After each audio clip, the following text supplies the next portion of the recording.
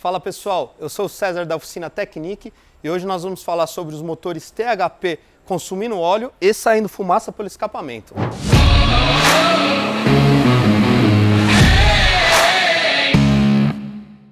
Não é segredo nenhum e aqui também é muito procurado sobre os motores THP consumir óleo ou até mesmo fumar, né? Sair aquela fumaça por trás. Mas é isso que eu quero chamar a atenção. Existem diversas causas diferentes que podem fazer o motor sair fumaça, como bico injetor, como vedadores de válvula, como turbina, anéis de motor. Uma das causas muito comum, eu vou falar sobre isso também, são os vedadores de válvulas. E sim, se a pergunta é essa, sim, é possível substituir os vedadores de válvulas sem remover o cabeçote. Mas atenção, isso tem que ser muito bem diagnosticado, tem que ser visto se como está o estado dos pistões, dos anéis. É, talvez seja viável fazer já com uma substituição de corrente, com uma manutenção. Isso tem que ser bem diagnosticado para chegar a esse ponto de fazer a substituição dos vedadores. Outra causa comum é a turbina. Tem que ver também e dá para diagnosticar uma sonda endoscópica, dá para ver certinho se a turbina está com problema. Esse caso aqui é um exemplo, né? Nós fizemos todos o diagnóstico certinho, constatamos pela quilometragem do carro, uh, vimos se a turbina está funcionando bem, como estão os bicos injetores, e aí chegamos à conclusão que dá para substituir sim os vedadores sem remover o cabeçote. Então, devido ao aquecimento, né, esse motor trabalha bem quente mesmo, é, os retentores ressecam, né? Eles aquecem e ressecam. Olha só um exemplo de um retentor. Ele passa livre, ó, ele chega a dançar, ó. Olha só a diferença de um retentor usado, né? A diferença do retentor. Olha a folga só, ele anda sozinho, ó. a válvula escorrega, ó. A válvula chega a descer com o retentor solto, ó. Realmente ele fica, aquece ele resseca. A diferença para um novo. Olha como a válvula fica presinha, ó. A diferença. Bom, e o que eu quero falar exatamente é que, sim, é possível sim fazer, uh, trocar esses sensores com cabeçote no local. Esse seria um serviço da retífica, né? Então muita gente passa, eu muitas vezes também indiquei a fazer o, o, serviço de retirar o cabeçote, fazer a retífica, mas isso tem que ser muito bem avaliado, muito bem estudado. Qual que é a vantagem? É o custo, realmente. Você ter que tirar todo um cabeçote só para trocar os vedadores de válvula, realmente é um custo elevado, né?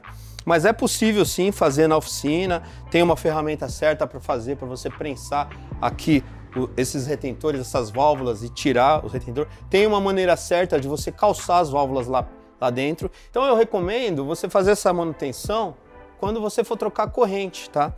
Porque você tem que desmontar tudo, tirar, remover realmente os comandos, remover as polias. E quando você vai trocar corrente, você já remove tudo isso, a tampa de válvula, remove as polias, faz parte do kit trocar as polias. E aí você tem o trabalho só de trocar os retentores. Nós indicamos a troca da corrente a cada 70 mil, tá? Não é porque a corrente vai estourar, a corrente não quebra, mas ela alarga um pouquinho sim e principalmente o esticador, o tensor, ele perde ação. Então o que, que geralmente acontece? Nos carros comuns com correia dentada, a correia quebra, atropela a válvula. Aqui não, nós já vimos e nessa época da pandemia aí, que os carros ficaram parados muito tempo, né? O tensor perdeu a pressão aqui, porque é hidráulico, tá?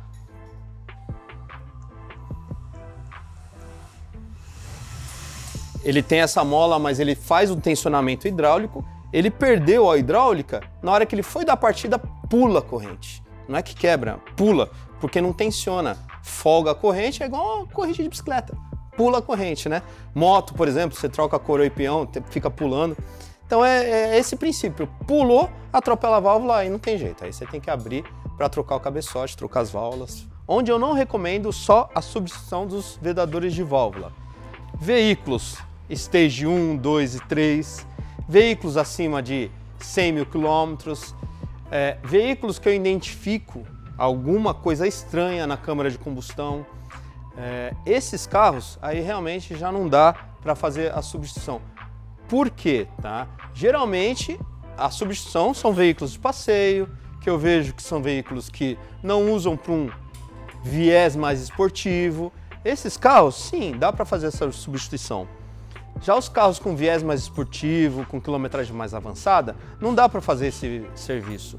Por quê? Existem alguns e outros tipos de desgaste que pode é, ocasionar outros problemas. Então, quando você vai desmontar um, um, um, item desse, fazer um serviço desse, você passa por diversos outros tipos de problemas que vai encarecendo, é, que vai é, ficando muito mais alto às vezes sai mais caro do que fazer a remoção do cabeçote e fazer já completo direitinho. Então, quilometragem mais avançada, é, estágio 1, 2, 3, viés esportivo, aí tem que remover o cabeçote e já fazer. Aí fica mais barato.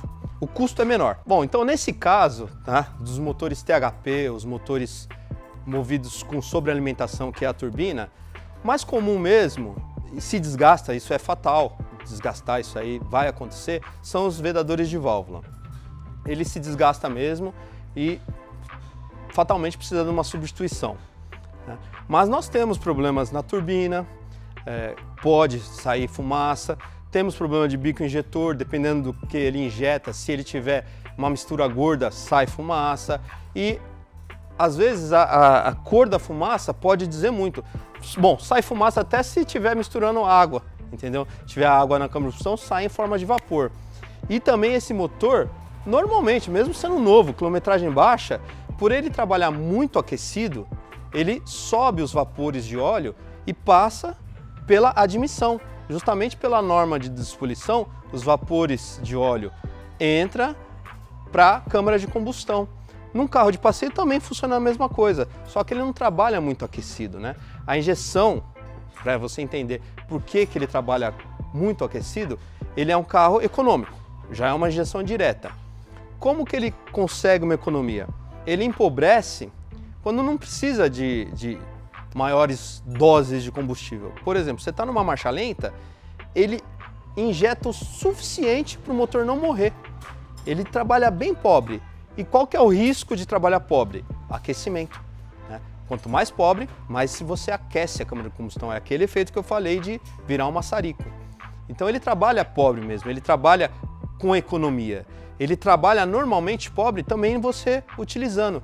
Então ele tem essa memória no, no, no módulo dele para saber, oh, aqueceu muito, deixa eu enriquecer um pouco. E a válvula termostática, que é o termostato pilotado, trabalha em cima disso. Esse carro tem uma embreagem na bomba d'água, diferente dos, dos outros carros, a bomba d'água trabalha constantemente com a correia, esse carro já não. Ele tem uma embreagem de bomba d'água, então ele só é acionada quando precisa, quando necessita. A bomba d'água não fica girando constantemente. Né? Então ele tem um sistema muito eficiente de arrefecimento junto com a memória do carro para empobrecer. Ele trabalha muito quente, fazendo com que os vapores de óleo subam com mais frequência. Então, o consumo de óleo nesse motor é normal. Não pode ser excessivo, né, a ponto de você ter que colocar quase os 4 litros a cada 10 mil quilômetros. Aí não é normal. Mas abaixar o óleo em torno de um litro a cada 10 mil, isso daí é muito normal nesse carro. Não, tem, não existe mágica para não fazer consumir. Essa é uma dica que eu passei nesses motores THP equipados na linha Peugeot Citroën. É, vários modelos de carros usam essa, essa gama de motores. E se vocês precisarem de alguma coisa, quiserem entrar em contato, vão estar aqui os nossos contatos. Muito obrigado. Canal da Peça. Facilitamos a vida dos apaixonados por mecânica. E ainda os vídeos mais comentados da internet. O conteúdo mais completo do setor de reparação automotiva